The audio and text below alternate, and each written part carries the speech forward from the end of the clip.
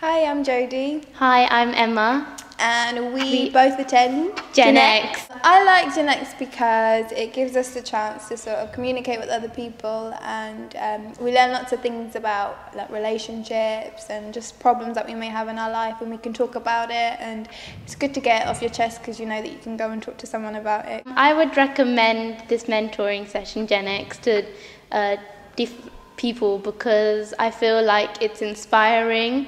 We get to have advice to, and to give to other people, or we have advice that we can use ourselves.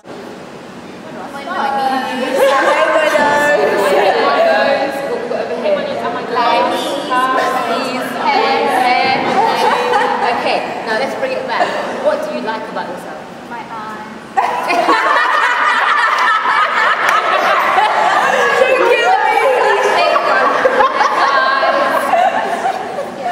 So I'm Noma and I've been going to DCYZ for a couple of years now.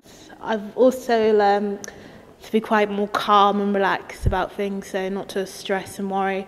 And I've got people to talk to if I'm like sad and stuff. Other people have come to talk to me more as like I've helped people give advice and stuff from what I've learned.